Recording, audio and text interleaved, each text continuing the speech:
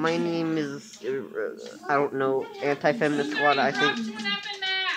Oh, cribbity crap crap. what a video. It's one point. Holy crap. I could get that thing up right quick, my guy.